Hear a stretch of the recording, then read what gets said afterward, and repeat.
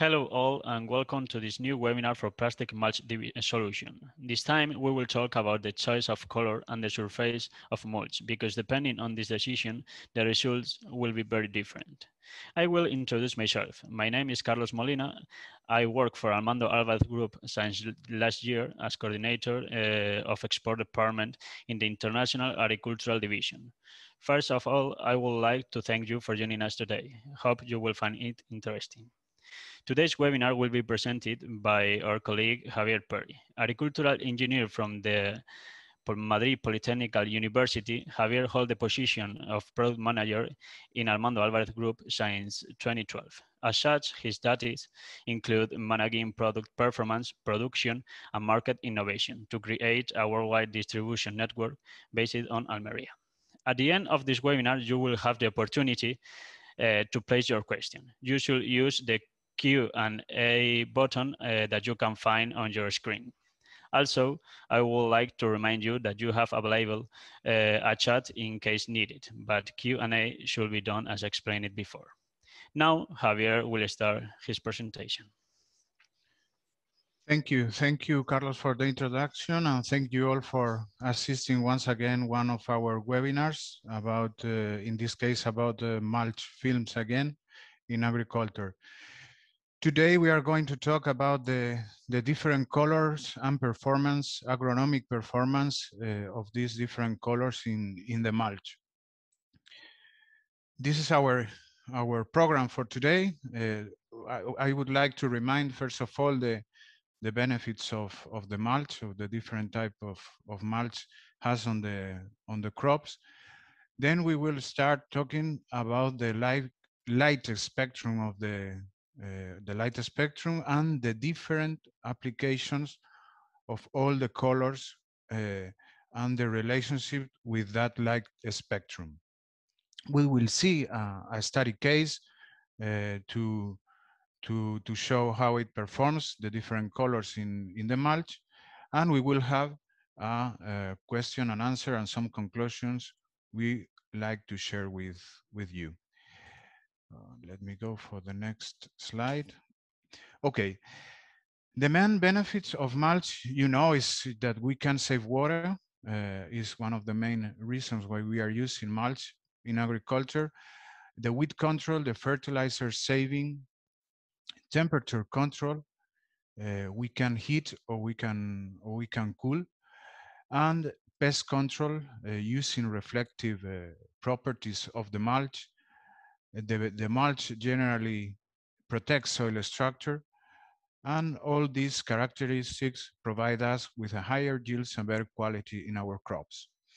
Today, we are going to focus on the weed control, temperature control, and pest control. This is the three of the characteristics, the three characteristics that are controlled directly uh, by the by the color of the mulch. So that is why we are going to analyze the different, uh, the different colors and applications. In this slide, for example, you can see here a slide of silver on black mulch. Well, the light spectrum. If we go for the short uh, wave of the light, we go from ultraviolet, uh, then we go to the PAR,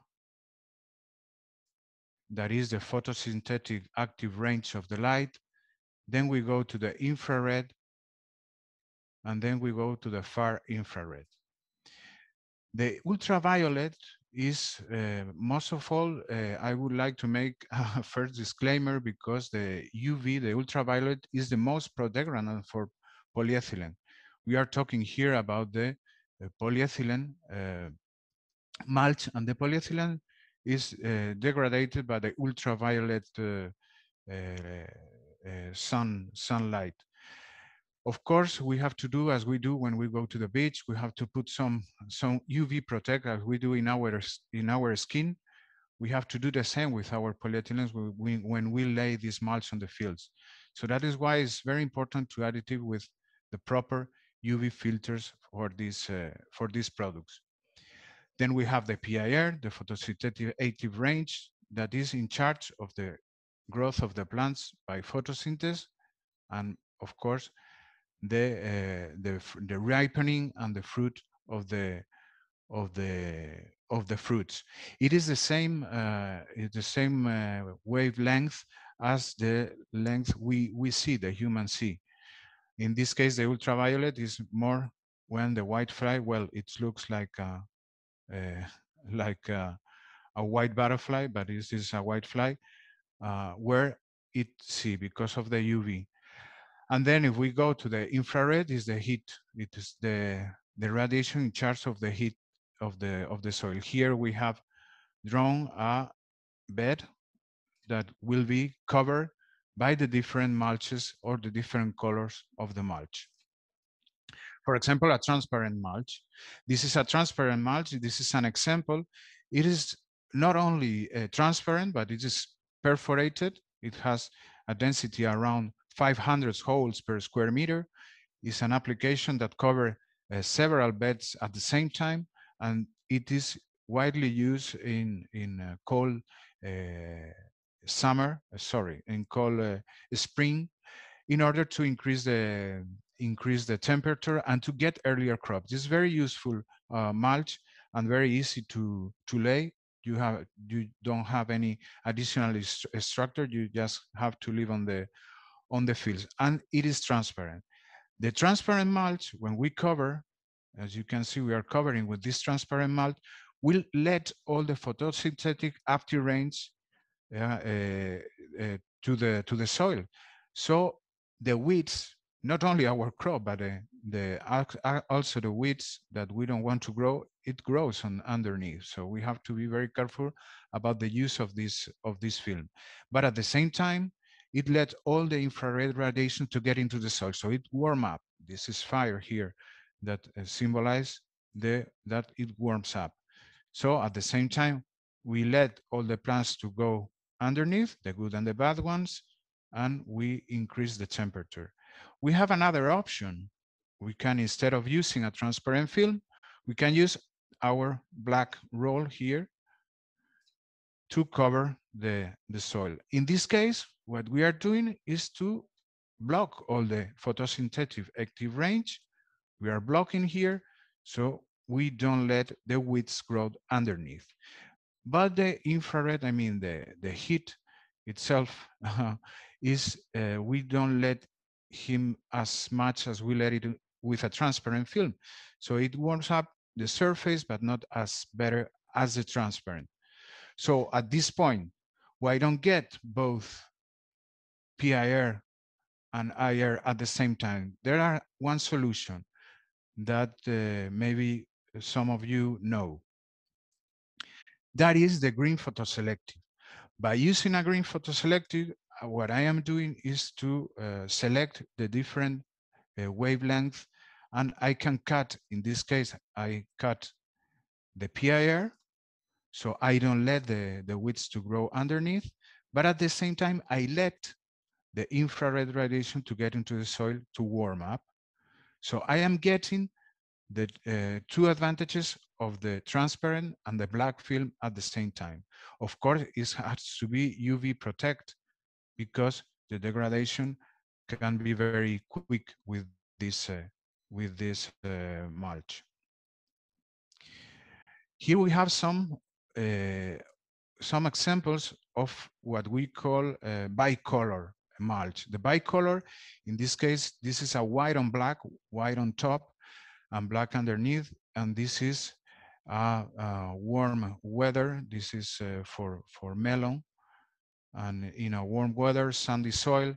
And it is prepared, as you can see here, with some arcs in order to use a fleece on top.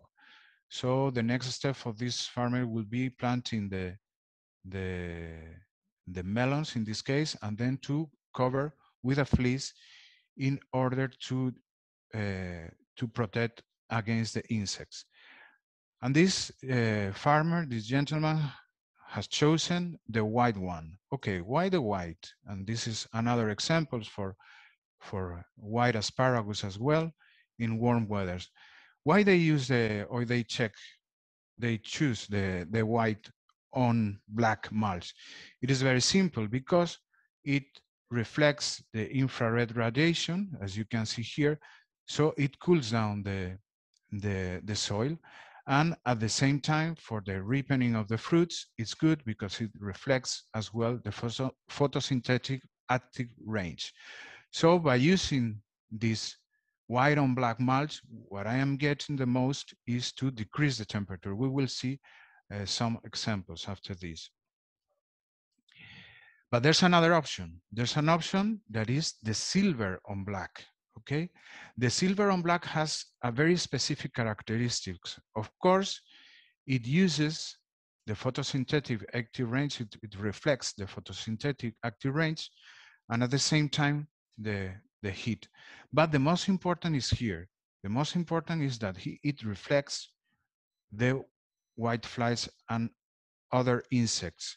It reflects or it, it repels all these insects. Why? Because the, the insects, they see in this uh, length wave, so it is more repellent for, for the insects here.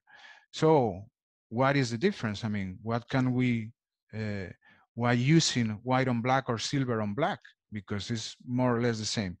It's apparently it's more or less, uh, more or less the same. Both are reflective, but there are uh, certain difference I would like to show you here with this graph. Here, what we are uh, going to analyze is the reflection rate uh, in the different length wave, wavelength, okay, the nanometers. So in the UV part of the of this graph, you can see that the the more uh, reflective film is the silver on black. As you can see here in this part, the most reflective is almost 40% of the reflection is made by the silver on black, which are the the the the the, the place of the of the uh, long wave where the insects see. And when we go for a long uh, wave, when we go to 600, 800, it means the infrared range, we will see, we see that it's almost 60, 50 and more percentage of reflection of the heat of the sun. So this is uh, the best for the white on black. So if we go, uh, if we are in a, in a very difficult decision that some of the grower has to make uh, when we have when they have to decide between these these two uh, these two mulches uh, the answer uh, should be what is the the the worst problem they have it, it is the the the white fly the insects or is it the sun okay the the the heat because if the mo the the the most important problem is the sun or the the high radiation, the high temperature at the end. The best decision will be uh, to go for white on black. But if it is the the insects, then you will go for silver on black. This is uh, an example for for the use of these uh, reflective or or cooling uh, mulches this is a, a, farm in the coast of Peru. The coast of uh, Peru, uh, it has a relatively constant temperature during the, the whole year. You can see the, the medium temperature, uh, it is 21 uh, degrees at that time, but it has some peak temperatures that are over 30 Celsius degrees. That is uh, uh, quite complex complicated sometimes for the development. This farm, you can see in this picture, it's a farm, uh, a strawberry farm in, as I told you, in the, in the coast of Peru. And we were trying to see the different by using black or white and black uh, mulch. So we get, uh, we use some data loggers uh, buried on the, on the ground, five centimeters on the root level. So we put several on the farm and we get some of the medium and maximum temperatures that you can see here. For example, the black, the medium temperature in black was almost 27 degrees, while uh, on black uh, temperature, average temperature or medium temperature was 25 it was more or less the same. But this is the most important difference. The most important difference we saw, it was on the maximum temperatures that a black mulch reaches 42.7, while the white on black reaches almost 40. That is a high temperature, but it was not that uh, that high. That means that the, the black mulch hits the soil the most with a difference of almost 6% Celsius degree just because of the color. Uh, with respect to the white on black that you can see here in in this uh, in this picture. But the most important thing in this in this case was at that time that uh, there were 100% of plant mortality with the black mulch, while it was only 6% of uh, of mortality on the white on black uh, mulch. This is a, a, very important because sometimes you can uh, you can think that uh, six degrees is not that big difference, but uh, when we are talking about plants, it could be a limitant or it could be the limit of the of the possibilities of production. In this case, uh, you see the the pictures taken at that time. You can see clearly where the black mulch was installed, there were no, no plants at all, while there were a relatively healthy uh, uh, uh, young plants growing in the white and black uh, mulch. So this is one, uh, one picture I, I, would like to show you with all the mulch performance in, one, in one single picture. The temperature, as I told you, the black and the transparent and the green increases the temperature, while the white on black and silver on, of, on, white, on silver on black decreases the temperature. Of course, talking about the weeds, the opaque or the photoselective in the PAR will be uh, a PAR block, so it will be good for the weeds control well, the transparent will not be so good for the weed control.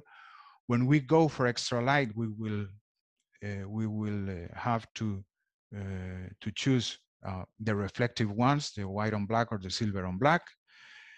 When we want to repel the insects, as I told you, the the gray, the silver on black is the is the most the most effective because it reflects more the UV length of the light, so it is the most uh, insect repellent of all. And uh, talking about the climate conditions, the, the warmest uh, climate conditions, it will be better to use the bicolor, the white on black and silver on black, while using the black, green, and transparent one will be much better for the cold regions. Okay, so these are the conclusions. In addition to the properties and advantages of that mulch provides, such as water saving and, and, and others, uh, the right choice of color can modulate such critical production, production factors.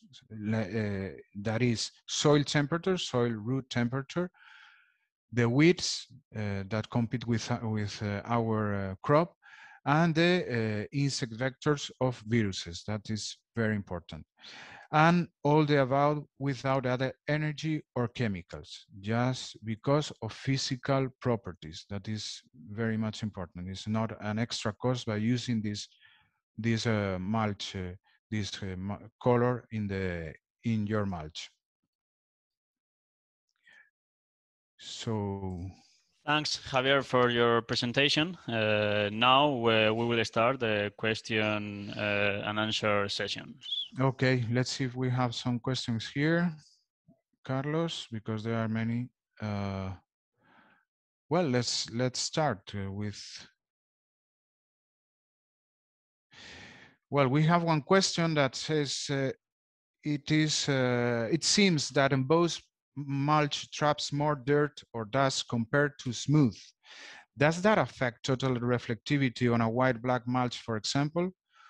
Of course, it affects the, the embosses, uh, uh, the reflection, mm, not only um, because it traps more dust, but because of the, of the structure itself, the reflection is not as good as the smooth, uh, smooth mulch. Uh, okay, there's another question. What determine, determines the height of the bed. Some are taller than others. Yes, you're right, Mauricio. Uh, there are uh, different uh, sizes for the beds. It depends on the crop. It depends if it is a lettuce or a strawberry that is usually taller than peppers or others.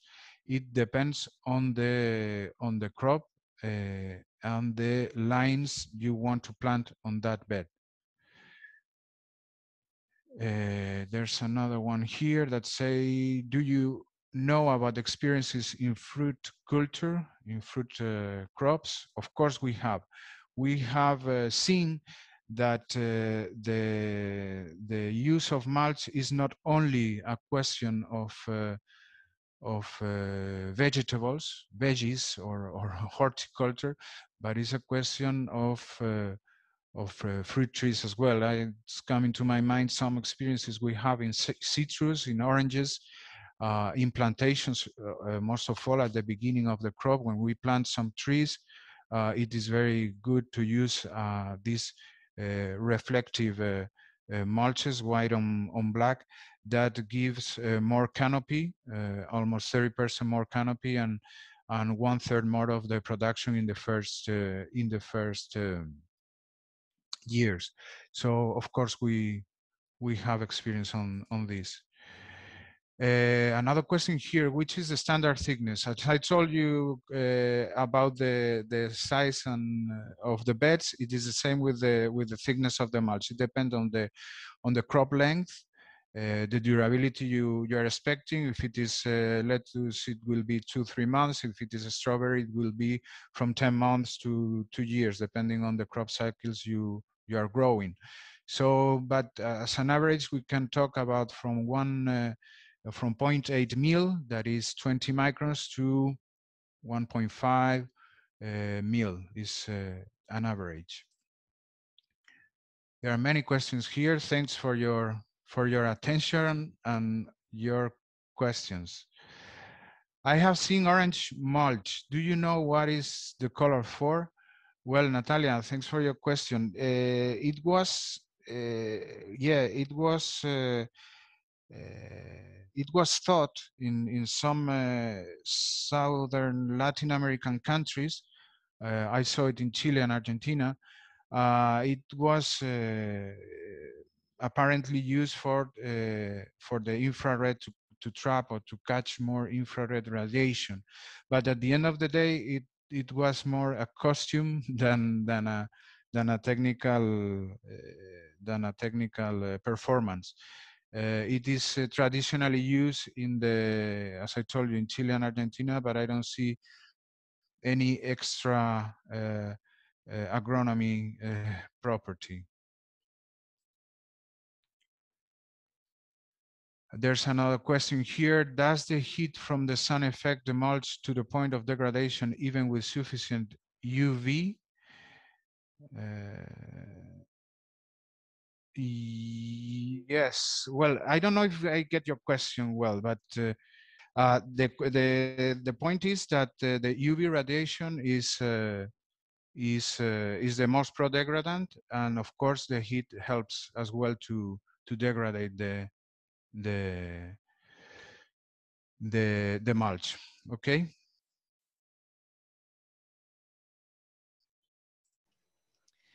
Thanks, Javier, and thank you all for, you, for assisting this, this webinar. Uh, we inform you uh, this webinar will be available shortly on uh, our Agriplastic community uh, YouTube channel.